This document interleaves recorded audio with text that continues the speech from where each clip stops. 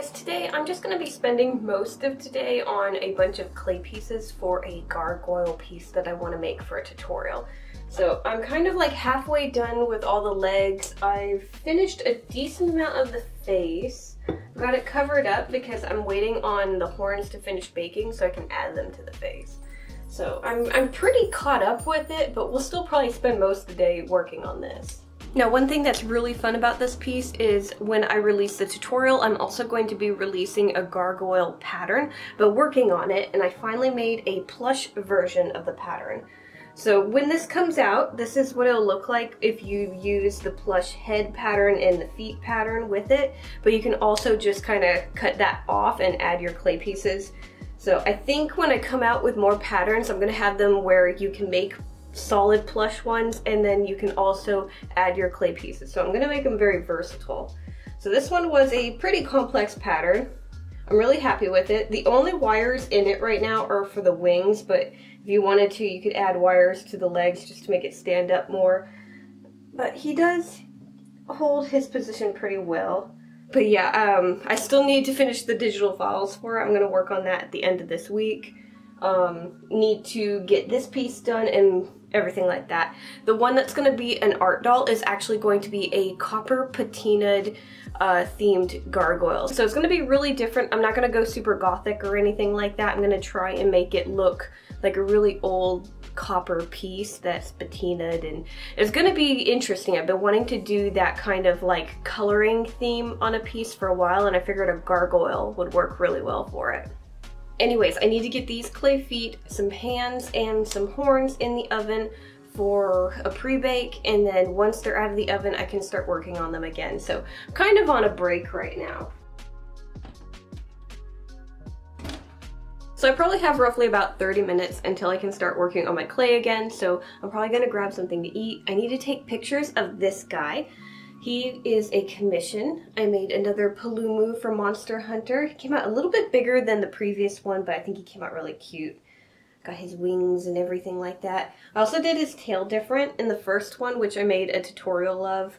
Um, I used felt, but I ended up using the same type of fabric that his body's made out of, just gray, and then stitching in the shape of his scales. So he's a lot softer in that spot.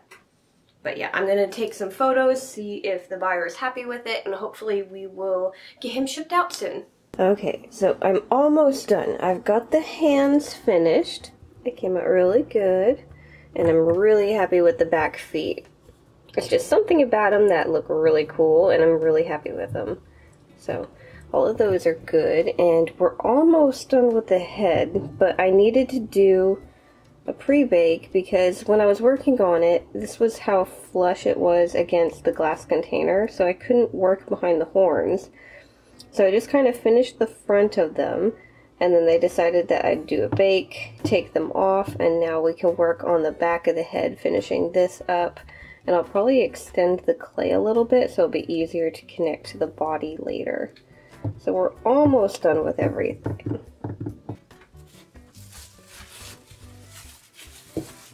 So what I'm thinking I'm gonna do is, because I'm a little worried with how strong this portion is where the horns are connected, I think I'm gonna add some bands going all the way around. So I'm gonna start on the back of the horns, figure that out. I might add those bands or um, I might not. I might just thicken up the horns right there.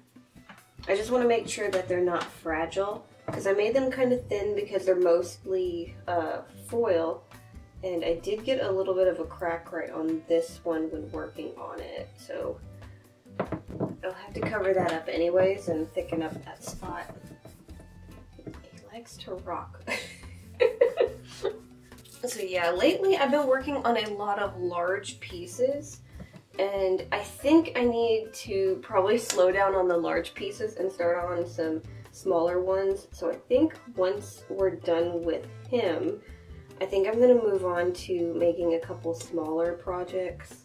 Uh, and filling the shop with some small, cute, kind of uh, easily priced things, because uh, not everyone can afford my big pieces, so I need to start putting out some smaller ones. I've been slowly working on getting some snakes going, but um, I really need to just kind of get caught up on this and then dive into finishing up the shop update because I kind of put it off until I get done with all of this because obviously like this big project is a lot more fun than making a bunch of little things even though the little things are really cute. Yeah, I think I'm just going to thicken up the bases of the horns. I don't think I'm going to add the uh, bands that I was thinking, mainly because like his design is um, all copper. So if I was to add like jewelry and decorative stuff to him, it would kind of get lost in it because he's like one giant piece of jewelry pretty much. So I think I'm just going to thicken these up and call it good. So I want them detailed, but I don't want to add detail that's gonna just not even get noticed because it's just so busy. So another reason I've been just really busy is I've been trying to get like really caught up so that I could actually take a week off. Uh, Michael is taking off a week for his birthday. He's got hours available at work. So he's going to take a week off, and I would like to not have to work the entire time he's home. I would like to have it where we could do some stuff. Also, um, that Saturday, the start of his uh, uh, vacation, I mean, we're staying home, we're not going anywhere. It's still a vacation though.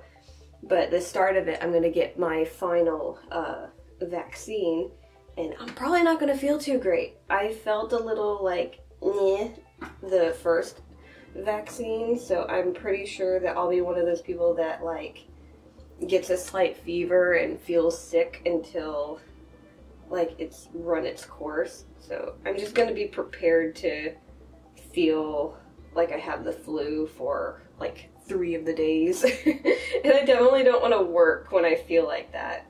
Also, another thing I want to work on when I take a week off with Michael is I want to get a lot more painting done on this piece. I've been working on it here and there at night and I've been trying to finish the shell. So all of this is still kind of wet, but I really want to dive in so I can start on a hermit crab.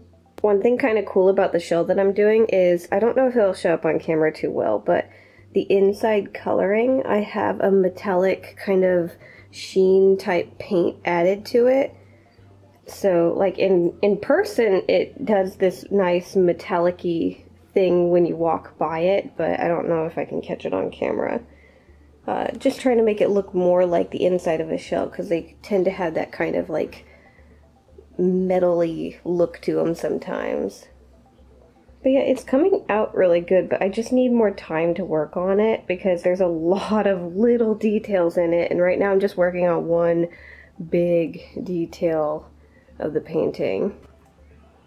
You got a toy? Oh, you got a toy? Oh, come here. Yeah, let me have it. Let me have it. Oh, get it. Oh, yeah, get it. Oh, oh, oh, yeah, shake it.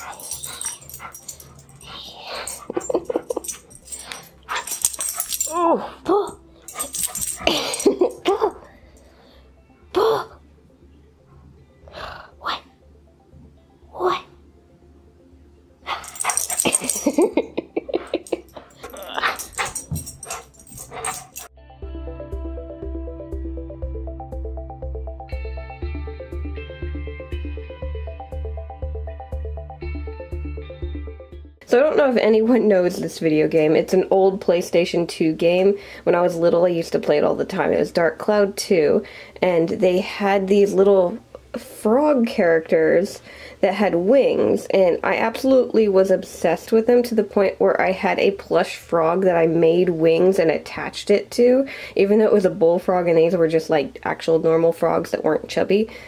But I want to do my own little cute variation of it. In the game, they didn't have front legs, so mine's going to have normal front legs and they're just going to have wings on the back.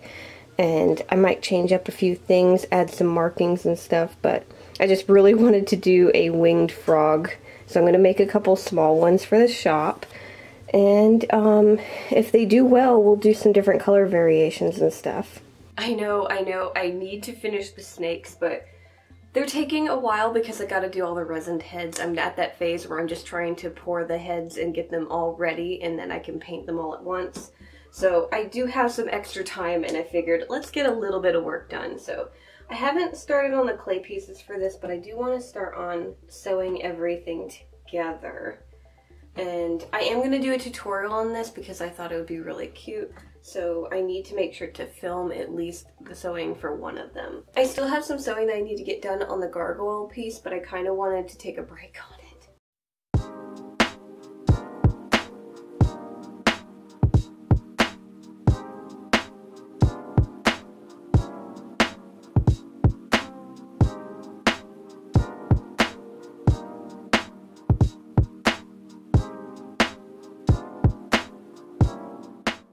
Okay, so it's the following day. I did not get a lot of sewing done yesterday, but I got a decent amount.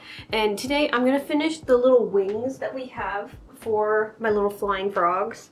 I got one done for the tutorial. That way I don't have to worry about filming it for the tutorial right now. But uh, we're gonna be working on that and then getting a little bit of the sewing done for my gargoyle piece. Oh, I realized watching the footage while I was editing this vlog that this does look like a real skull kind of. So if anyone is interested, this is made out of quartz or stone or something like that. It is not real. that would be a little bit weird having a real skull around your neck, but yeah, it's just made out of stones if anyone's interested in that. But anyways, let me show you guys what I'm doing to sew the wings. Basically, here, um, this is what I originally did. I sewed the two layers together and flipped it, and this is what I'm going to be doing. So what I'm gonna do is I found out that using my backing fabric, which it's not really fabric, it's more paper, and sketching out the lines that I wanna sew on here, pinning it onto that, and then sewing through, um, and then you just remove this once you're done sewing it. So that's what I'm gonna end up doing.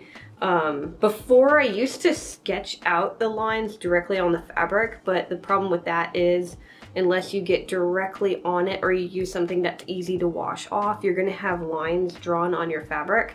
This is a good way to keep it from looking all like sketched on. Okay, I finally got everything pinned together. Let's get started. So glad these are tiny, because otherwise they take forever.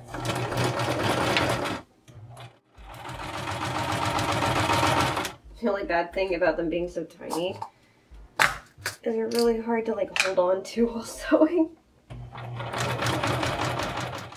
Also, it's really hard to put the pins in the fabric to hold it steady without having later pull them out. It'd be so much easier if I could just leave them in and then pull them out after, but they're in the way. I'll get one of these done real quick and then I'll show you how to pull off the backing fabric. Oh, I, I call it backing fabric, but it's uh, stabilizing fabric.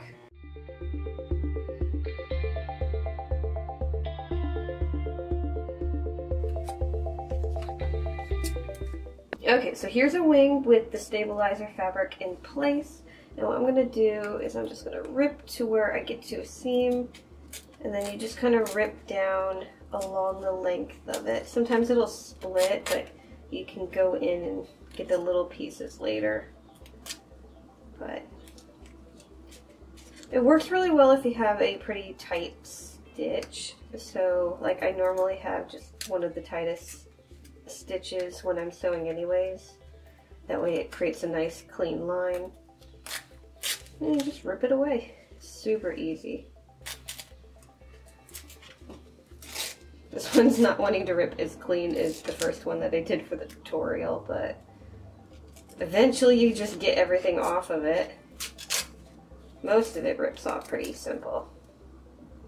And there. And now I just need to cut off all the extra little strings that I have, and I've got my little wing for my froggy.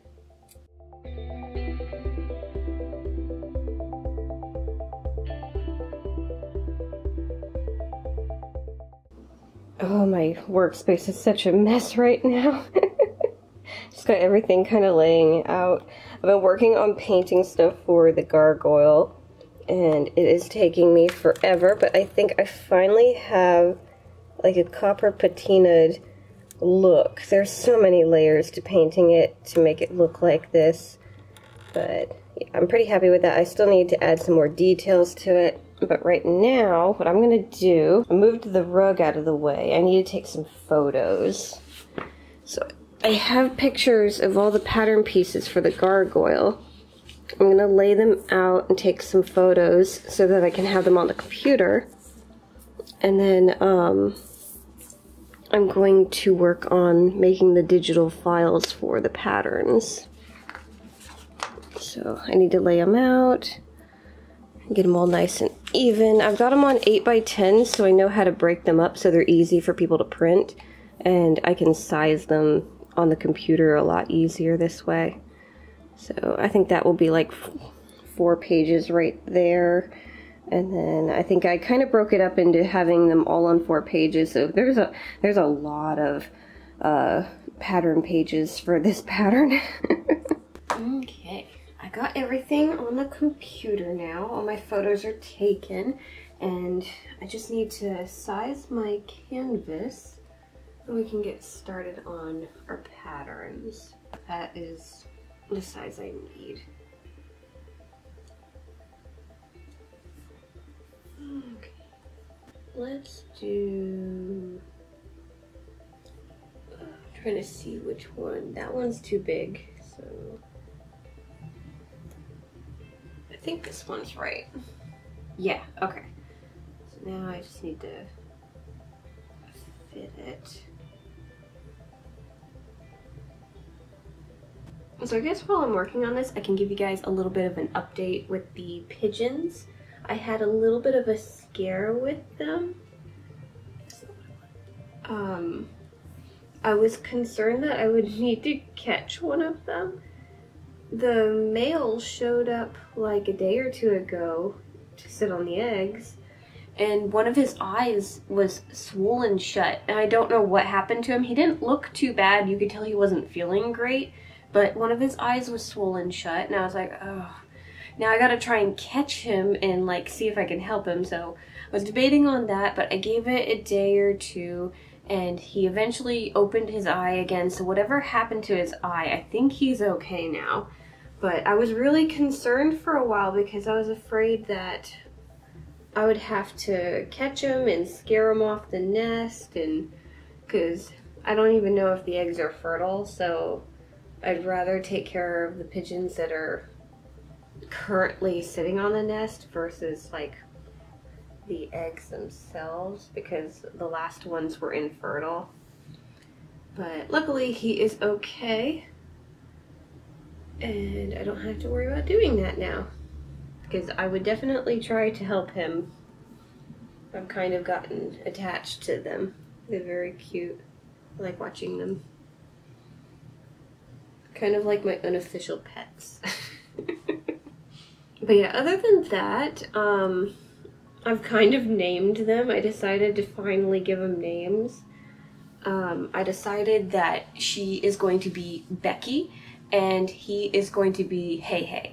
So if you guys know, those are both um, weird bird characters in Disney movies. I thought they kind of fit the personalities a little bit. I really hope that their eggs this time around will hatch. I really want to see some babies. Okay, so I think I'm gonna call it for today because I have almost finished eight pages, which is a lot. I made a few changes in the layout, so I'll probably have maybe one or two more pages to work on that I originally thought I did. So I have no idea how many pages this pattern PDF is going to have by the time I'm done with it. But whenever we have that gargoyle piece come out, this will be available. I'm gonna make sure to have everything kind of released at the same time. So keep an eye out for that. Anyways guys, thank you so much for watching. Make sure to like, subscribe to all that fun stuff, and I'll see you guys next time. Bye.